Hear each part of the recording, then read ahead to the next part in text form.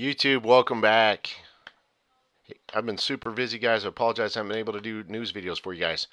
So as you guys know, I do buy Iraq dinar now going forward, and we have a we have another platform where we are analyzing news at a much deeper, thorough level. Okay, because of the difficult challenges right now in really understanding Iraq's news. Their their news is very misleading. Okay, so again, right here near the top right corner of the main home screen, there's a Patreon link. You can click on that and go right to the Patreon channel.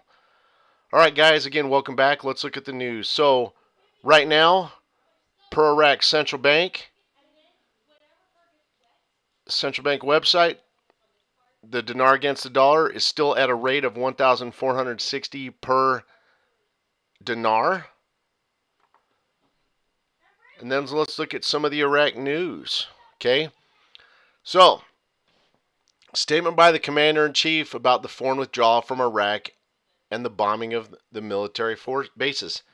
So here they're talking about that the schedule for the withdrawal of foreign forces is determined by the technical committees. It's important to them to get, they want to get uh, foreign forces out, okay, to be a sovereign nation. There is a schedule for the withdrawal of forces during periods to be determined after the meeting of the technical committee that was that was formed by the commander in chief and the armed forces. Okay, so again, they're working to to get foreign forces out. Now, guys, here's here's where the news gets very interesting. See, you had the Iraq told us right. This this is an older article from April 1st. They told us that they want to get the reforms implemented. Now, they really only talked about it this one time. Okay, they just said, "Hey, we're working to implement the reforms." They spoke about it once and have not spoken about it since.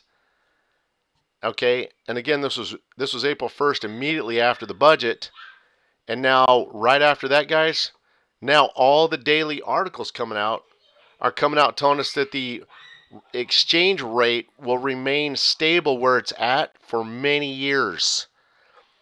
Okay, Parliamentary Finance Committee suggested that the current price of the dollar would remain for years. It'll so the current rate of 1460 will remain where it's at for years, while indicating that the central bank's ability to correct its current price in the market and prevent it from increase. So they're going to keep it basically locked where it's at. The current exchange rate of 1460 against the dollar and determined by the central bank may last for years as it cannot be reduced or changed because the budget was calculated off of it. Okay, so they're telling right here it has to remain where it's at for at least the full duration of the 21 budget because the budget was calculated off of it. So right there they're telling you the budget probably won't change during the duration of the 21 budget because it was calculated off of it. Parliamentary Finance expects the current current dollar price to remain for years. Parliamentary Economic Investment Committee confirmed that the treatments of the exchange rate increase the need they need time in order to achieve stability. So they're saying the exchange rate needs to remain where it's at for a good good duration of time in order for it to achieve stability in the market. Deputy talks the fate of the provincial councils a continuous postponement until the amendment. So they're telling you that you're probably going to uh, delay and postpone the elections until they get the election law amended, and they want to add five amendments to it. One is they want to reduce the parliamentary members in half. There are no government indicators to return the dollar's price to its previous era. And guys, all these articles, by the way, are from today, the 24th. There are no indications to restore the exchange rate to its previous value of 1190, according to existing data. We do not see in Parliament efforts to restore the exchange rate to its previous area of 1190. Parliamentary Finance Committee expects the dollar price to remain for years.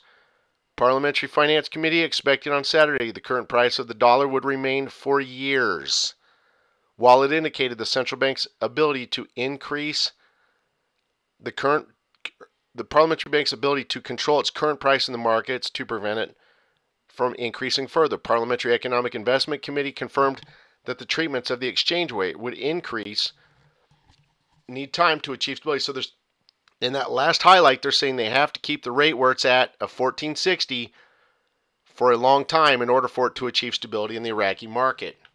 They also told you a little ways up in red that the right there that the that the rate cannot be changed or reduced because the budget was calculated off of it.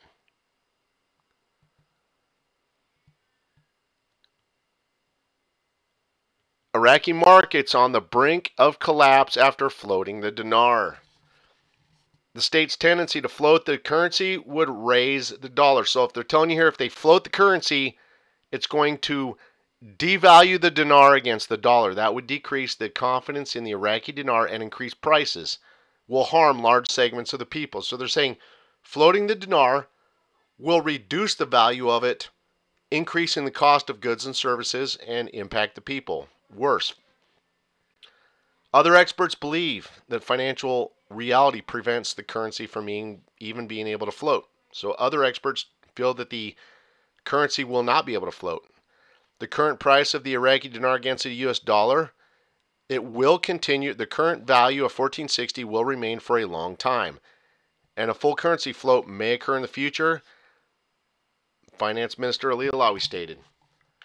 So they're telling you, they keep telling you from many angles that they can't float the dinar because it will actually further reduce the value of the dinar against the dollar. And that the rate, the current rate of 1460, that the budget was calculated off of it, and that it will remain there for a long time to achieve stability within the Iraq market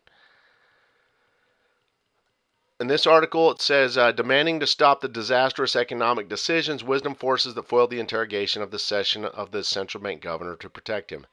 Ministry of Planning announced an increase in inflation to 5% with high poverty rates.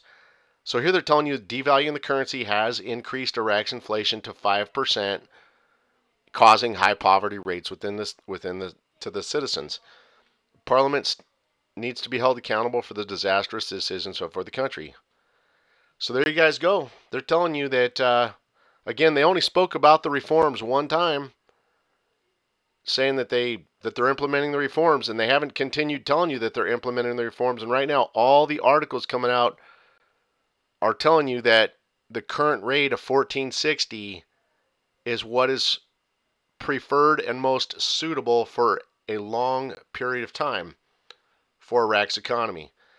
So again, guys, don't forget we can help you with a lot of this misleading, confusing news right here over on Patreon. Okay, there's a link up here on the on my main YouTube channel, right there in the top in the top right corner.